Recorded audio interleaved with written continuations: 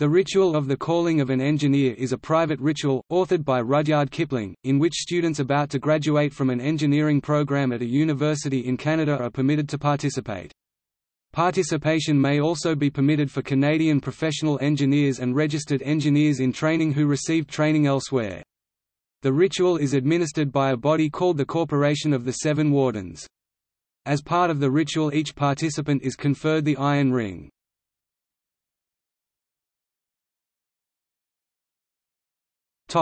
History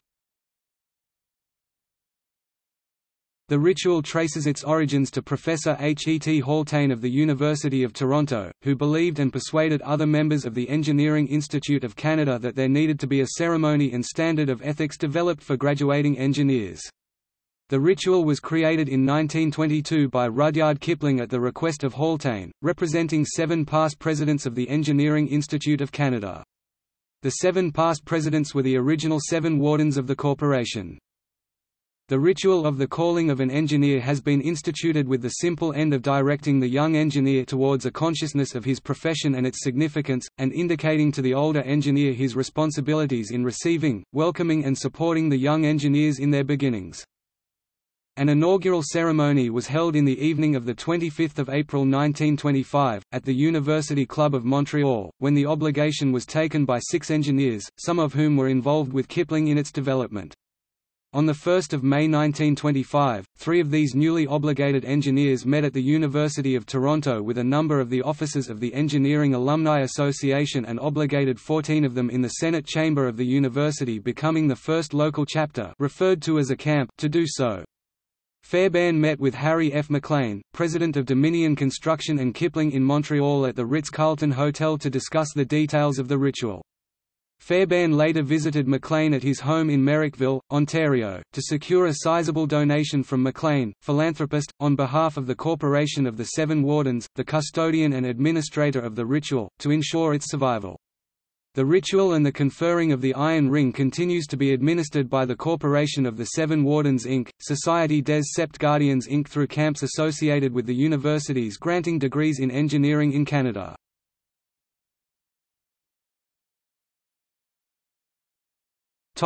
Ritual The ritual takes place separately at individual camps across Canada usually situated near an engineering university.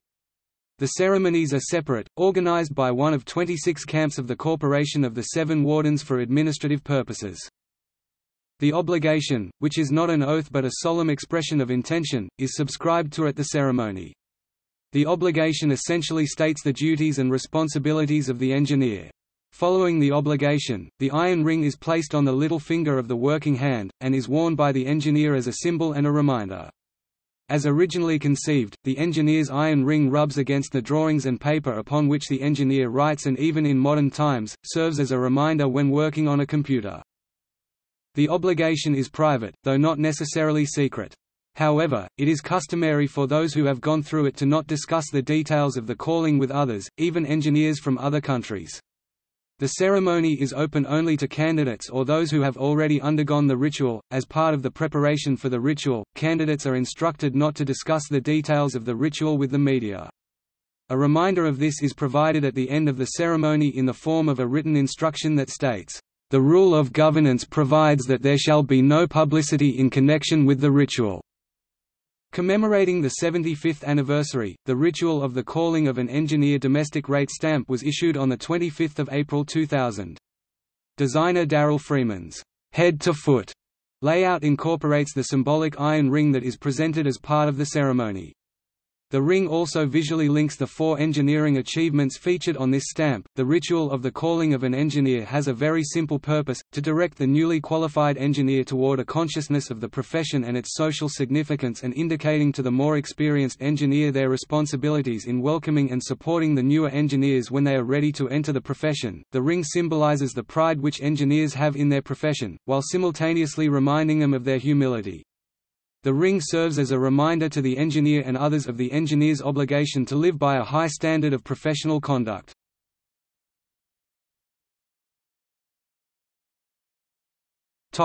Iron ring The iron ring may be made from either iron or stainless steel. Presently, only Camp 1 of the corporation in Toronto continues to confer rings made from iron. Stainless steel rings are conferred at all other locations across Canada.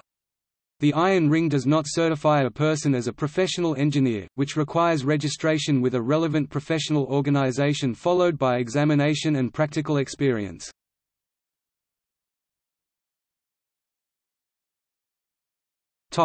Corporation of the Seven Wardens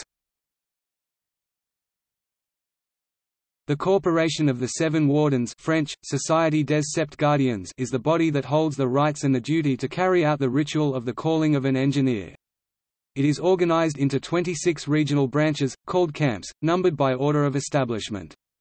The term camp is used to describe these regional branches because it conveys a smaller, close-knit sense of community.